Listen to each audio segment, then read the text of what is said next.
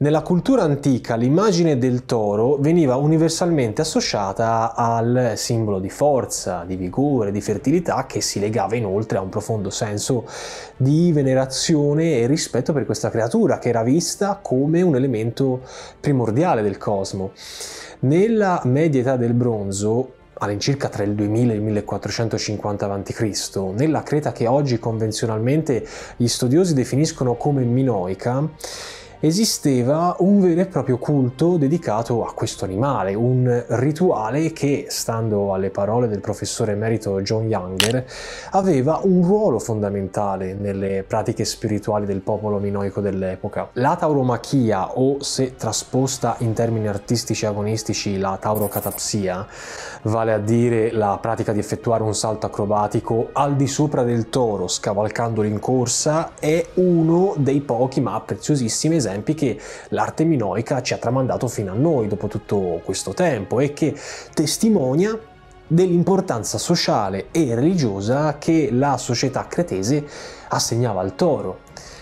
Certo, questo tipo di venerazione, come anche eh, l'arte da essa espressa, non erano sui generis dell'isola di Creta, basti pensare ai molteplici ritrovamenti pervenuti nella valle dell'Indo, nella Batriana e in Anatolia databili all'incirca al secondo millennio a.C. Se ci fermiamo un attimo ad ammirare l'affresco della Taurocatapsia nel museo archeologico di Eraclion a Creta, possiamo subito comprendere quanto fondamentale fosse, per la scelta minoica, la necessità di dare ordine e logica al mondo naturale circostante, un mondo dove uomo e ambiente erano in completa armonia. Vivendo in un'area geografica turbolenta come quella del Mediterraneo orientale nell'età del bronzo, Praticare riti che includevano il rapporto tra il caos dell'universo e la capacità dell'uomo di superare l'ambiente naturale con le proprie forze era un fatto piuttosto comune. Questo rapporto conflittuale con il cosmo e gli elementi della natura lo si poteva esprimere in varie forme, come ad esempio attraverso l'artigianato e l'arte. Grazie al mito greco e alle prove trasmesse dall'archeologia, gli studiosi dell'arte hanno potuto strutturare e guidare in modo migliore la nostra comprensione della cultura minoica. Dagli studi condotti da personalità di primo piano come Evans o Kleiner,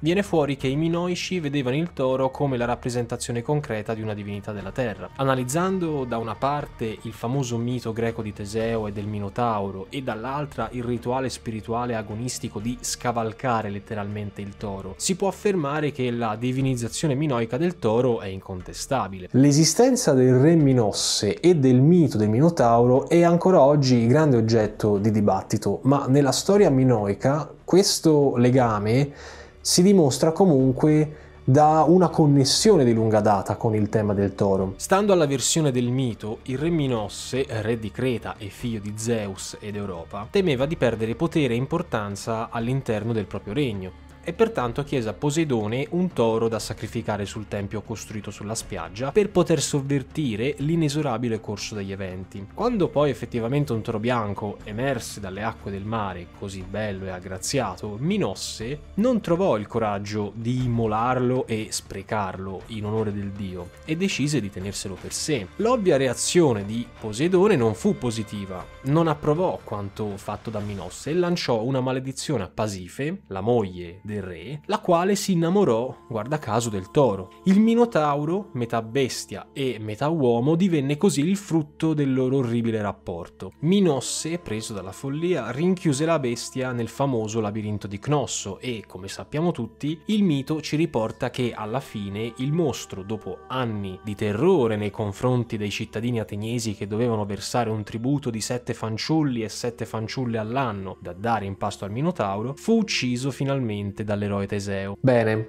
questo mito dimostra la soggezione e al tempo stesso il fascino che i minoici nutrivano per il toro bianco, quello che oggi in termini scientifici chiameremmo toro albino, e quindi la sua eterna bellezza e la sua potenza, dal momento che nel mito il toro consegnato da Poseidone a Minosse apparteneva chiaramente a un altro mondo, quello sovrannaturale. Tornando un attimo alla pratica essenziale di dimostrare abilità e agilità nelle feste religiose che si tenevano nella Creta minoica, e cioè la tarocatapsia, lo studioso McGillivray ha ipotizzato che il salto del toro fosse un'attività che, data la sua importanza sociale, dovesse tenersi in qualche modo nella corte centrale del palazzo reale o comunque nelle vicinanze immediate, considerata la prossimità di un affresco così notevole e suggestivo rinvenuto su una parete interna del palazzo stesso. Dal suo punto di vista, l'origine di questa pratica potrebbe risiedere nella rappresentazione simbolica delle prime battute di caccia e nell'addomesticamento, per motivi di agricoltura, del toro selvatico, come segno del controllo che l'uomo era riuscito a prevalere sulla natura. In questo chiamiamolo tra virgolette sport, che era il salto del toro, le donne erano incluse e non dobbiamo sorprenderci che l'immagine femminile dominasse nell'iconografia del periodo, soprattutto in una società che valorizzava le donne molto di più che nelle altre culture contemporanee o successive. Negli affreschi, infatti, avere come soggetti principali uno o più donne cretesi era una cosa molto comune e questo era facilmente identificabile grazie al colore della pelle pallida in contrasto con le tonalità più scure e cromatiche delle loro controparti maschili. Descritto come una gara tra l'uomo e il toro, il salto era visto come un rito in cui l'uomo cercava di superare il caos dell'universo per arrivare a instaurare un'armonia con la divinità scesa in terra, il toro. Non è chiaro se effettivamente il particolare tipo di salto che si vede nell'iconografia fosse un'acrobazia fattibile o comunque più praticabile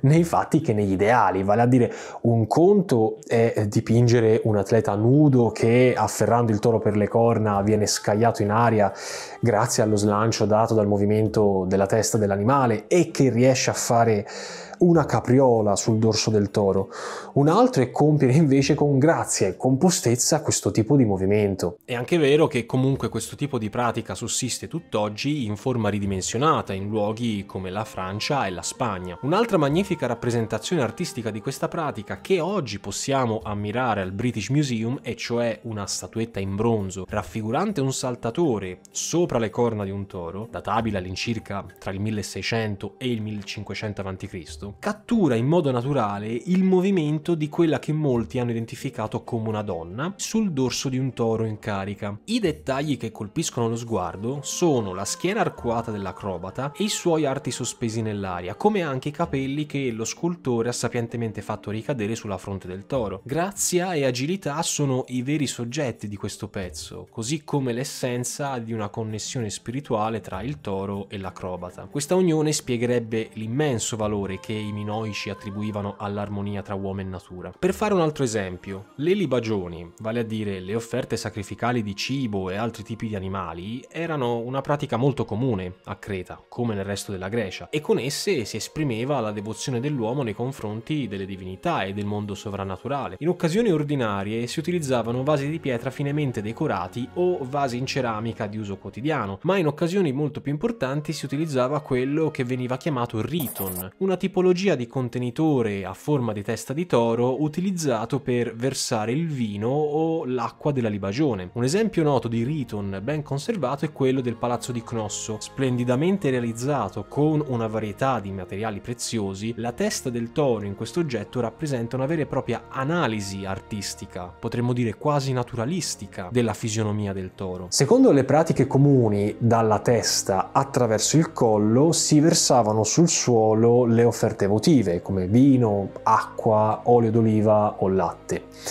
A quel punto il fedele beveva le ultime gocce che rimanevano nel contenitore della bocca del Riton. Uno dei reperti archeologici più interessanti di tutta l'area di Cnosso sono le cosiddette corna della consacrazione, un'espressione coniata dall'archeologo Arthur Evans. Evans giunse alla conclusione, dopo aver notato numerosi casi simili in contesti minoici e micenei, che le corna della consacrazione costituivano un elemento di arredamento piuttosto ricorrente negli oggetti utilizzati dai minoici simbolici nei loro rituali, derivante proprio dalle corna dei buoi sacrificati. Le corna della consacrazione si trovavano in luoghi di primaria rilevanza, come ad esempio gli ingressi delle città, i portoni dei grandi palazzi e ciò avrebbe contribuito, secondo Evans, a creare un confine ancora più netto tra il regno umano, vale a dire quello della società di palazzo, e quello divino, il mondo sconosciuto e pericoloso che stava al di fuori delle mura protette dalla presenza vigorosa delle corna del toro. Certamente bisogna anche aggiungere che l'idea per la quale la comunità godeva della protezione di un animale, metà bestia e metà uomo,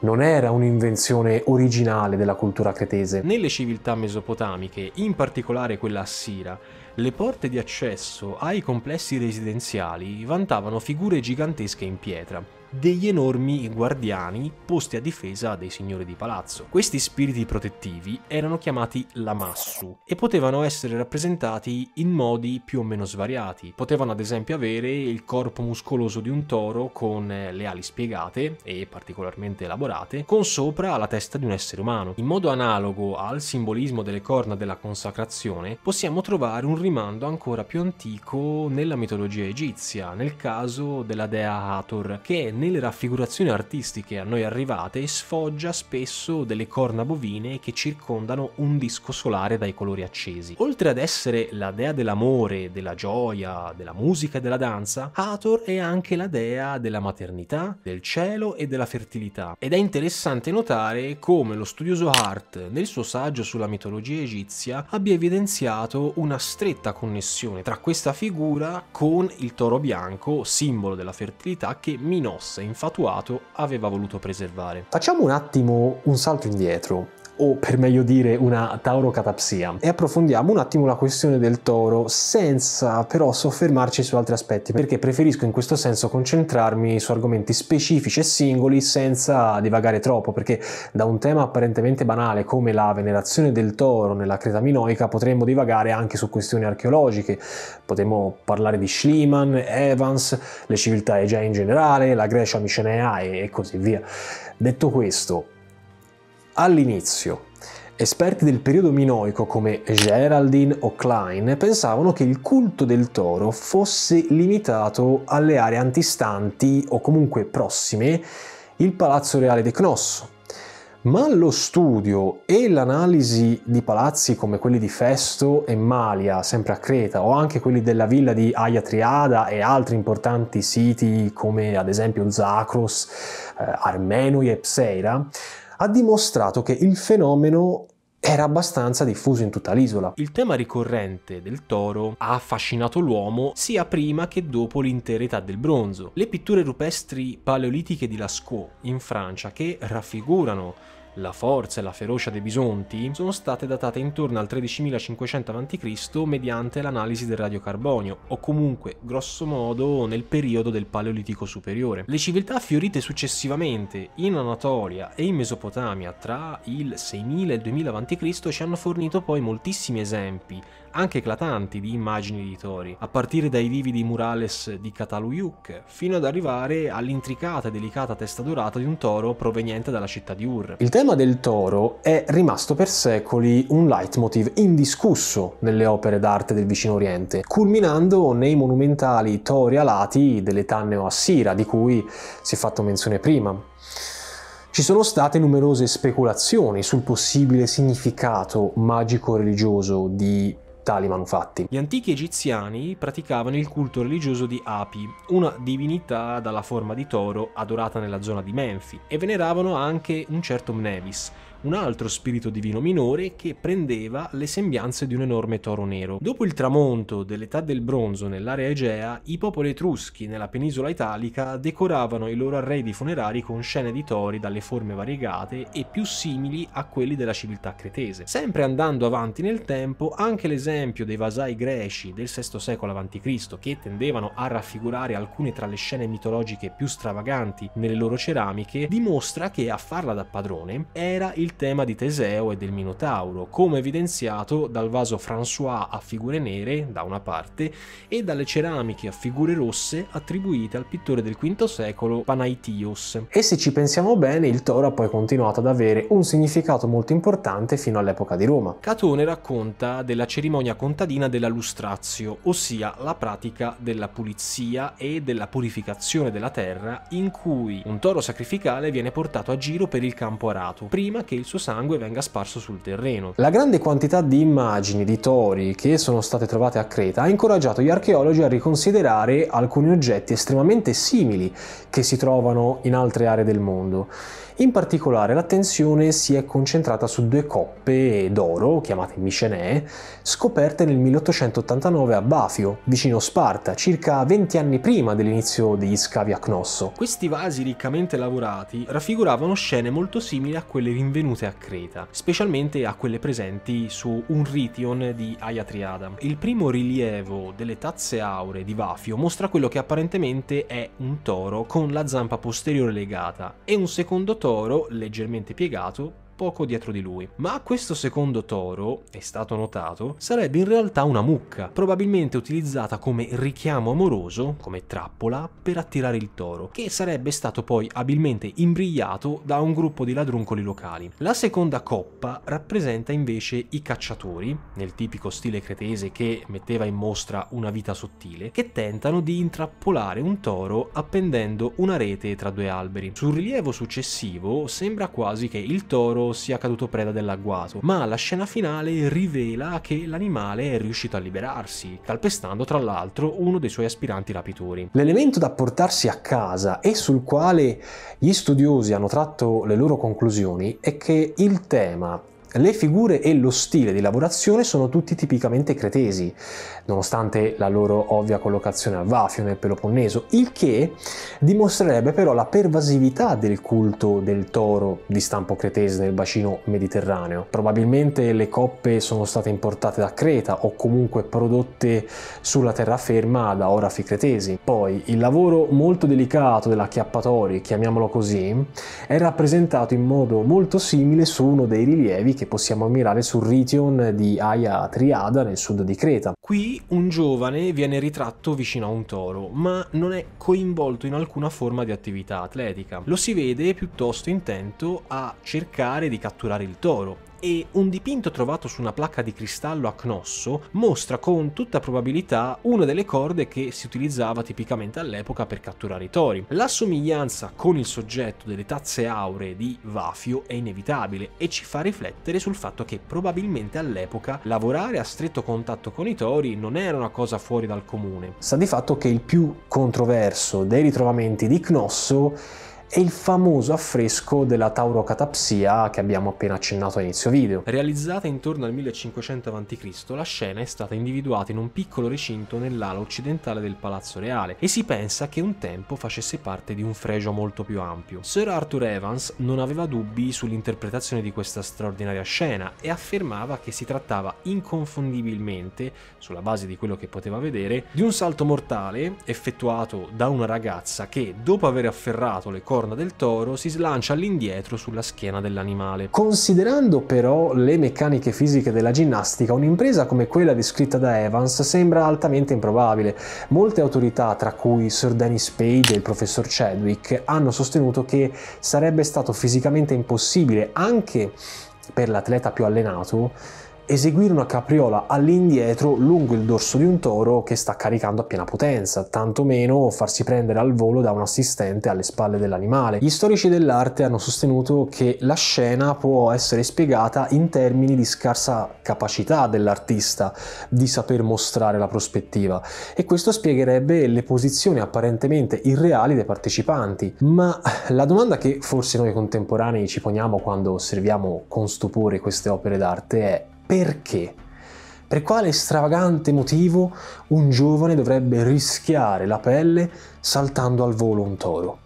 Da una prospettiva semplice e concreta poteva trattarsi di un'esibizione di abilità atletiche, un po' simile se la trasportiamo avanti nel tempo alle gare olimpiche nella Grecia antica o alle corse dei carri a Roma, dove il vincitore guadagnava fama, gloria e soprattutto prestigio sociale. L'obiettivo della taurocatapsia era quello di spronare il toro alla carica, per poi saltare in avanti, in alto, nel momento cruciale, alzando le gambe in modo da permettere al toro di passare al di sotto senza alcun contatto. Questa manovra poteva anche avere successo, a patto che il toro non stesse caricando a grande velocità. In alternativa, alcuni hanno suggerito una visione meno radicale, nella quale gli acrobati avrebbero eseguito delle capriole e dei salti mortali sul dorso del toro, mentre l'animale però era fermo, oppure avvicinandosi ad esso da un angolo al di fuori del suo campo visivo. Ma fosse anche stato così, il rischio di morire o di subire gravi lesioni doveva essere spaventosamente alto. Tralasciando il discorso spirituale e l'importanza data al toro, forse noi non sapremo mai l'esatta natura di questa pratica in epoca cretese, anche perché, come è stato osservato con ironia, pochi atleti di alto livello al mondo oggi sembrano disposti a mettere alla prova le teorie al riguardo. La ricercatrice e professoressa Barbara Olsen smentisce però dal canto suo la pericolosità di questa pratica e ne contraddice l'effettiva esistenza, sottolineando che la tauromachia o taurocatapsia nei fatti fosse soltanto un'esagerazione artistica e che in realtà si trattasse simbolicamente di un rituale di iniziazione per i giovani adolescenti che appartenevano alle alte classi elitarie. E siccome gli unici dipinti che abbiamo a disposizione testimoniano l'immagine di un salto riuscito e mai di una carneficina, secondo la Olsen sarebbe stato un controsenso condannare un giovane aristocratico a una pratica così rischiosa. Tralasciando un attimo l'interessante visione della Olsen, se però diamo per buona l'idea di una pratica così pericolosa nella società cretese,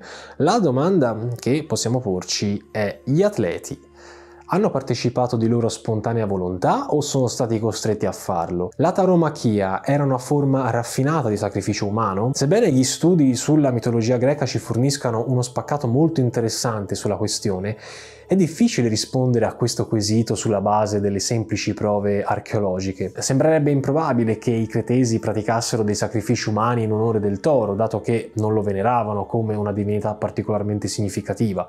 Allo stesso modo rimane aperto il problema della partecipazione volontaria degli atleti, che non può quindi trovare una risposta certa. Per quanto riguarda invece l'ubicazione su dove veniva condotto questo genere di spettacoli, abbiamo poche informazioni chiare e precise a riguardo riguardo. La civiltà cretese non ha prodotto nulla in termini di arene o strutture dove potessero svolgersi esattamente queste pratiche atletiche, almeno per quanto ne sappiamo. Si è ipotizzato che a Cnosso, l'area tra il fiume Kairatos e le sale del palazzo, poteva essere un luogo adatto per la messa in scena di tali eventi, ma lo poteva essere anche nel caso dell'ampio cortile centrale del palazzo stesso. L'esame della planimetria di altri palazzi, in particolare quelli di Festo e Malia, rivela una costruzione simile nella forma delle strutture e non fornisce quindi una soluzione definitiva al problema. Tradizionalmente si pensava che il salto del toro fosse messo in scena soltanto a vantaggio dei membri della corte reale, ma secondo l'opinione moderna invece l'evento si sarebbe svolto molto più probabilmente in pubblico. Quindi gli sport con i tori erano solo un mezzo di puro intrattenimento? Oppure avevano un significato molto più profondo. In una scena rinvenuta su un sarcofago in pietra calcarea nella villa di Aya Triada, si può notare un toro legato e appoggiato su un tavolo sacrificale, mentre una sacerdotessa è in procinto di offrire la libagione sull'altare. Da ciò si deduce che il toro difficilmente sarebbe stato concepito nella Creta minoica come un animale sacrificale se fosse stato una divinità a sé stante. Gli abitanti di Creta, come quelli di molte altre società società antiche riconobbero il toro come simbolo di forza e probabilmente credevano che il sangue del toro avesse certe proprietà magiche. Recenti lavori sulla lineare B, come quelli condotti da Francis Gignat, sostengono che i cretesi venerassero i prototipi di alcune delle divinità che possiamo rintracciare nella stessa Grecia classica e che la loro importanza religiosa traesse la propria origine a partire dalle antichissime pratiche di venerazione della madre terra. In pratica l'alfa e l'omega della natura in sé per sé. Dare al toro uno status particolare all'interno della società significava valorizzare il mare, gli animali, come anche la pesca e il raccolto, cioè gli elementi più importanti per una comunità che si fondava sul commercio e l'agricoltura. Che il toro occupasse un posto di rilievo in una società del genere era del tutto comprensibile. Il suo potere e la sua forza erano un tassello di grande valore nel mosaico del mondo naturale venerato dai minoici. Il discorso potrebbe protrarsi all'infinito se solo volessimo portarlo avanti, ma per concludere, stando a quanto detto da Evans nel corso dei suoi studi, il toro aveva per gli antichi cretesi un significato ancora più grande di quanto non sia mai stato dimostrato. Nel seminterrato di una piccola casa di Cnosso, Evans trovò i resti scheletrici della testa di due tori, le corna di uno dei quali, ci dice Evans, erano più grandi di un metro e mezzo di circonferenza. Prendendo spunto da una frase del canto 20 dell'Iliade, vale a dire nei tori si diletta Posedone, lo scuotitore della terra, Evans ha ragionato sul fatto che doveva esserci una stretta connessione tra il muggito di un toro e il fragore dei terremoti, a cui la Creta dell'età del bronzo, come sappiamo dalle rivelazioni archeologiche, era spesso soggetta. Evan stesso ammise di aver sperimentato delle scosse in cui, e qui cito, un suono sordo sgorgava dal terreno come il rombo vattato di un toro arrabbiato. Sembra quasi il rumore di quello strumento di tortura che era il toro di Falaride. Certo, Forse il romanticismo cominciava a prendere il sopravvento sulla ragione di Evans, ma Dopotutto dobbiamo per forza di cose eliminare la possibilità, seppur minima, che i cretesi potessero provare sensazioni simili quando sentivano il verso di un toro. Quest'ultima considerazione di Evans non è certo una spiegazione scientifica dell'importanza antropologica del culto del toro in sé, ma ripensando un attimo alla reverenza e alla soggezione con cui le società antiche e rurali trattavano il toro, vedendolo come un simbolo di potenza e fertilità e considerando le oscillazioni sismiche nell'area Egea, siamo proprio sicuri di voler respingere del tutto quest'idea?